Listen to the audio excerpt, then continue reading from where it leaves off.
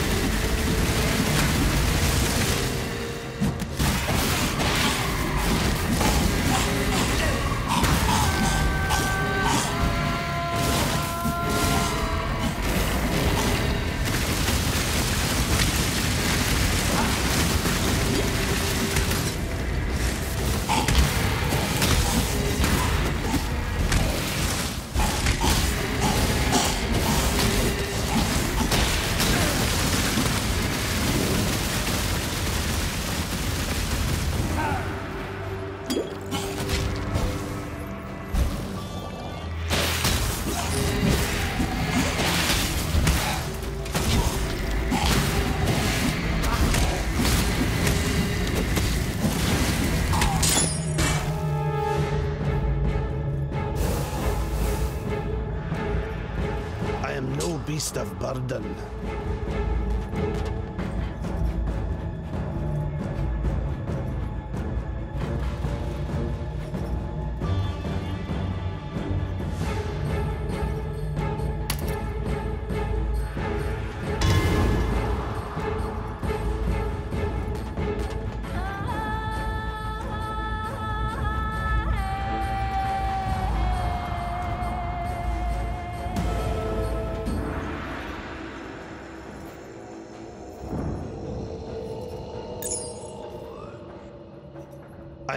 beast of burden.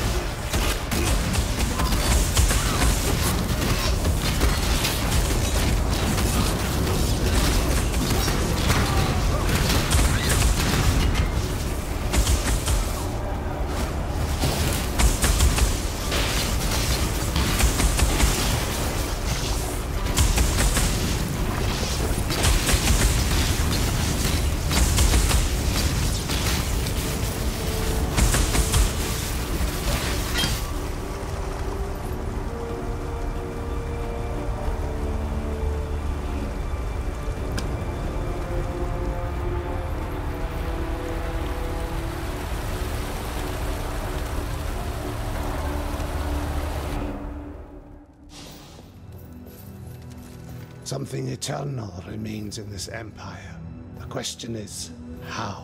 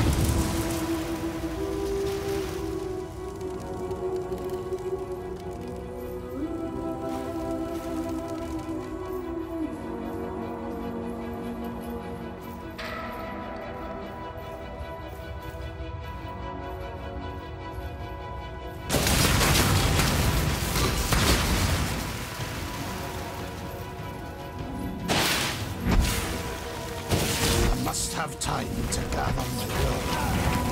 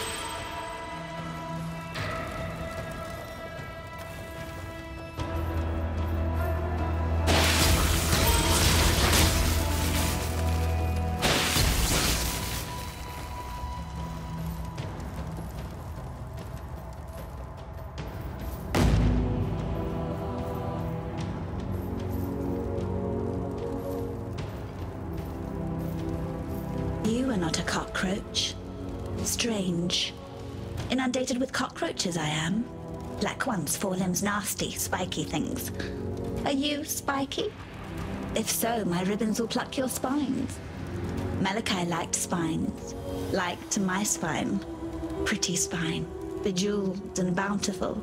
Enough to make an empire weep. Do you weep, not a cockroach? I do. Tears are infinite.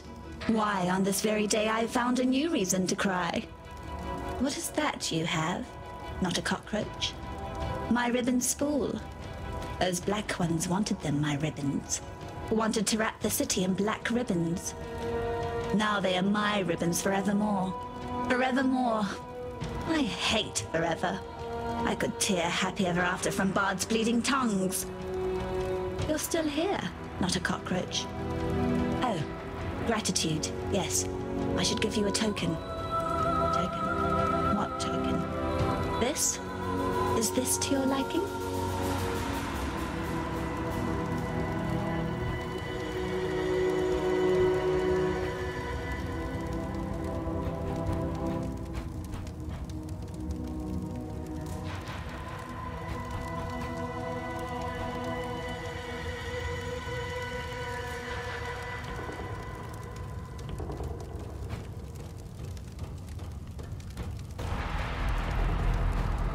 The cockroaches will come again. They want the twist. That cockroach emperor. The other bugs shout his name. Revisius. Cross the river, squash the emperor cockroach in his nest. The bridge. It is barricaded. That spawns a tricky question. Questions, questions. I asked too many questions. Chitus told me so. I asked where it all went. Our feculence. He made them show me. Under the river. The sewers from this side to that. Filthy, fetid tunnels like a Rhoa's cloaca. A black place. Crawling with the undying. Once beautiful and arrogant gemlings. Now the foul waste of the Empire. Fitting, isn't it? Apt. Apt. Apt. I like you, not a cockroach. I like that you listen. Would annoy me if the Undying murdered you. Thaumetic sulfite. That's what you need. A nasty, nasty substance it is. Malachai had his slaves mine it. Carry it from northern mountains to the refinery by the docks. Ezomytes, Maraketh, Karui. It killed them all, fevered the blood and scorched the mind. But you are clever, not a cockroach. You'll keep it at arm's length. You'll bring it to me so that I may make you something. An infernal talc that will bring furious light to undying darkness. I loved Malachai. He gave me gems, divine jewels for his gemling queen, for his dead queen. But I didn't want me dead. Malachai begged. For him, for the Empire. I chose me. Selfish me. I was the Emperor's favorite for a time. But Chitus had many favorites. He filled the scepter of God with favorites. Every now and then, he cleared away the clutter. Those who pleased him, they were given to his lords and generals. Those who did not were given to his thaumaturgists. I talked too much, asked too many difficult questions. I was gifted to Malachai, my dear, troubled Malachai. Leave me, not a cockroach.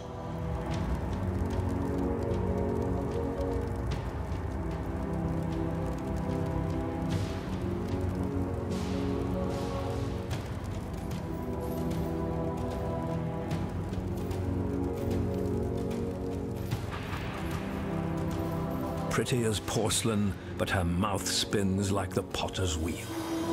That's how I once described Dialla.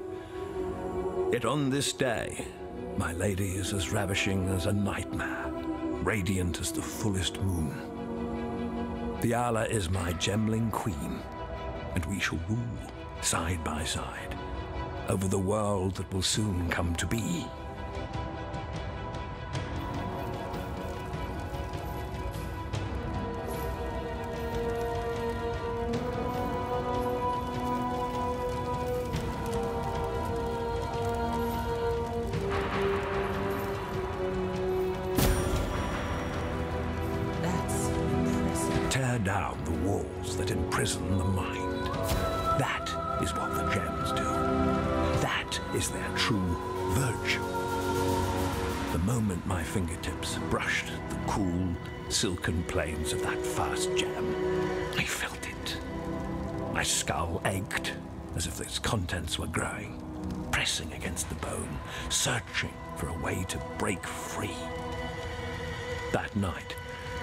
Once the wine had dulled the pain enough to allow the onset of sleep, the dreams began.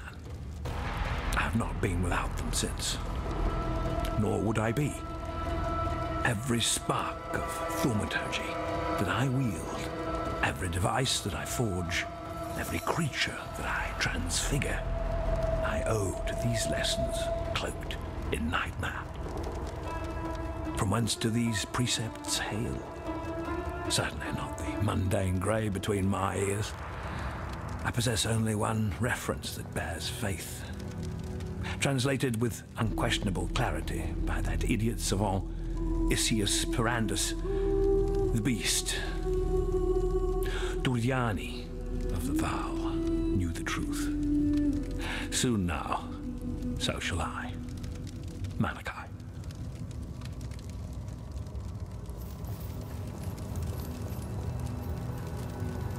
I awoke.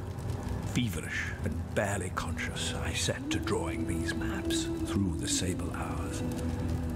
By morning, my fingers ached, my eyes burned, yet still I found no rest. The reverie commanded its rendering.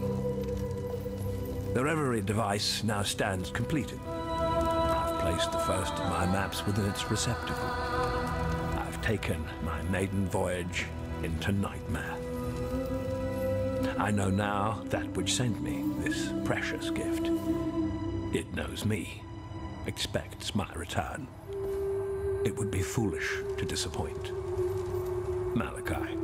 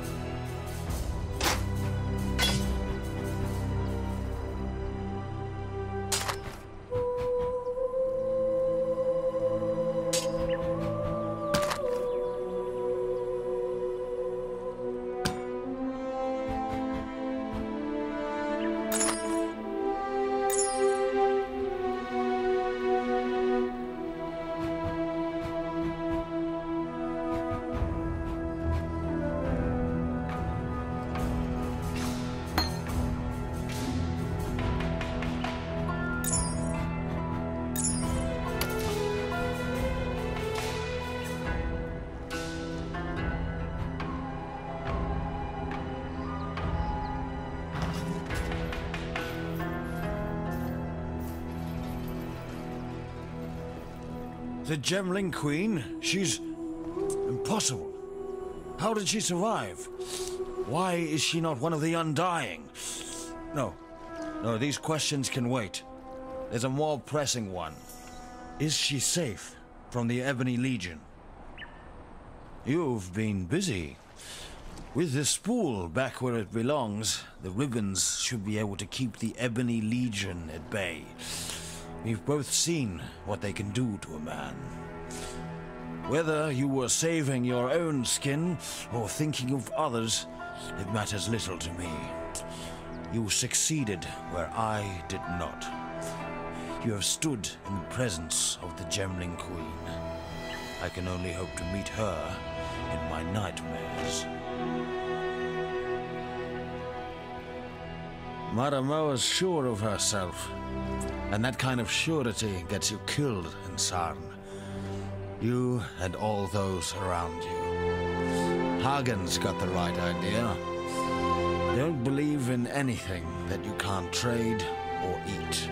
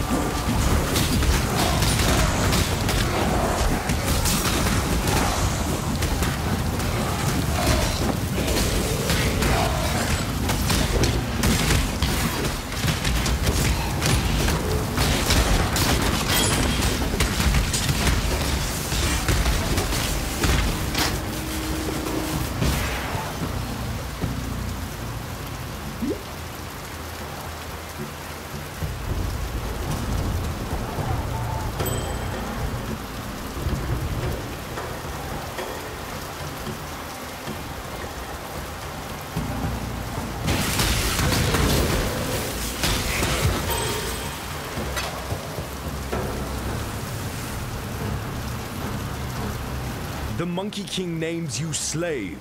No.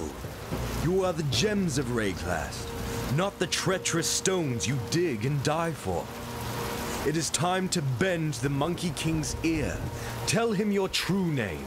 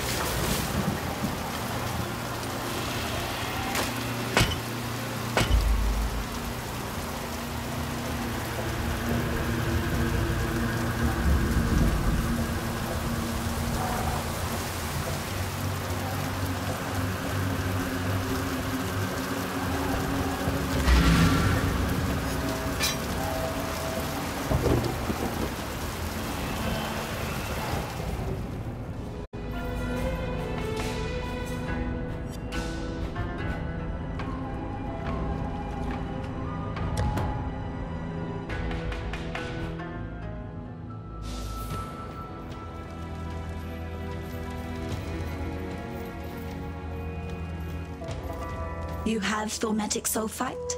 You are a resourceful unbug now, aren't you? Give it to me. I was all eyes and ears when Malachai worked. I know exactly what to do. A dash of arcanity, a pinch of insanity, a whisper of profanity, and the infernal talc is now ready.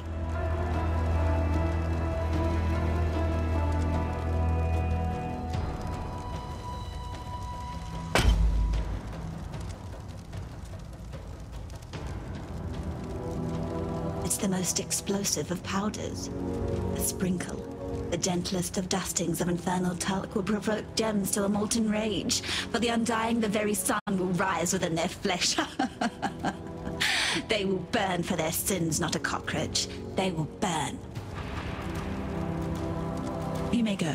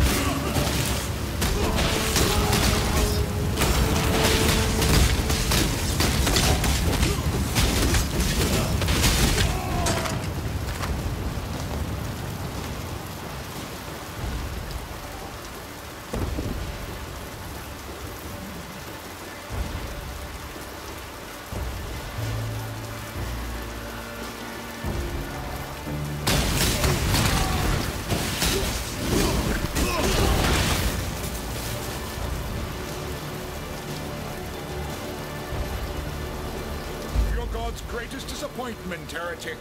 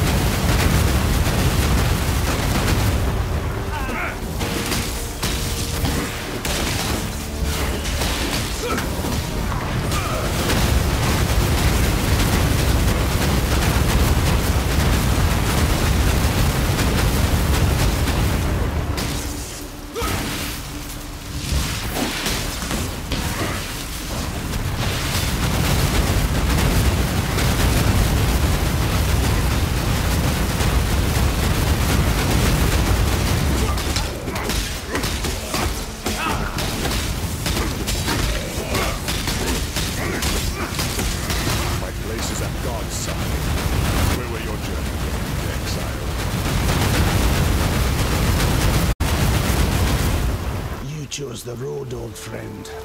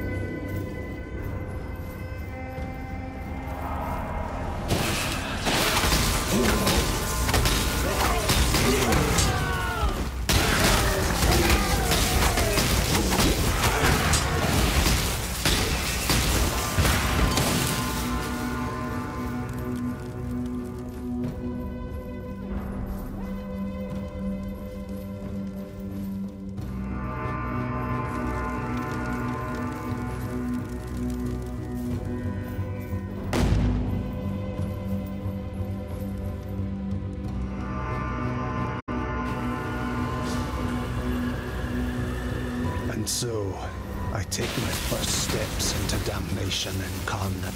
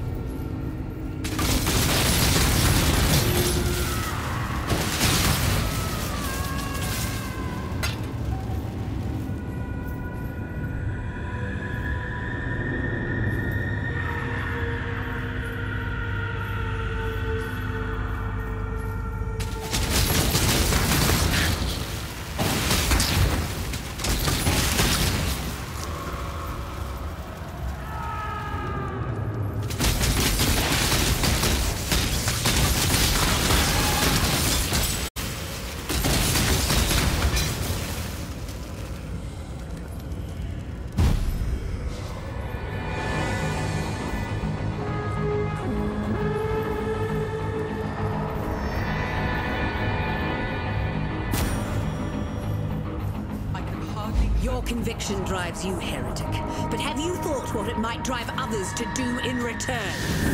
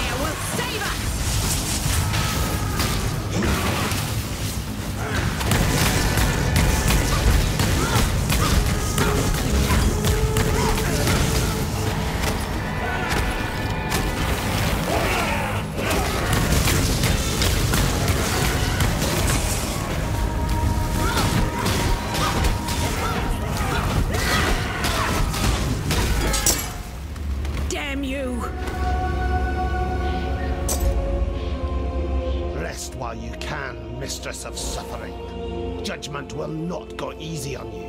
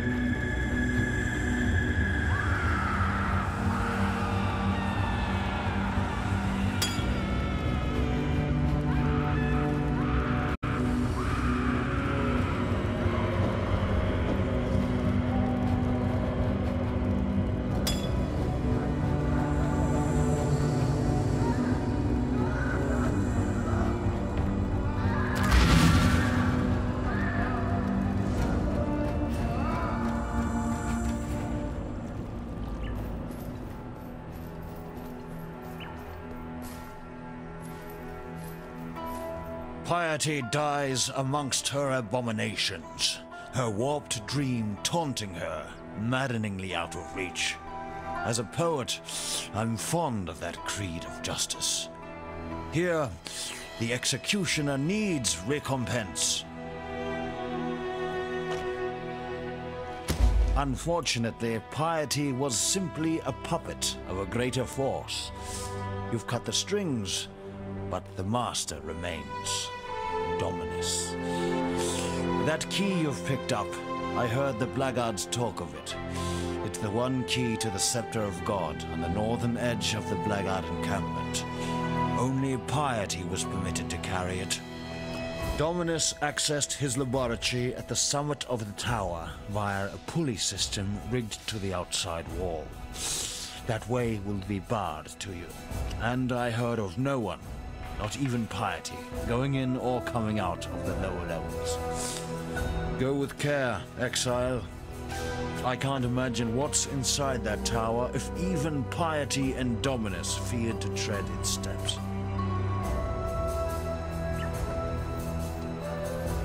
Wherever he is, I'm sure Tolman knows what you've done. I know you didn't do it for him or for me. It doesn't matter. Piety's reign of cruelty is over. Thank you.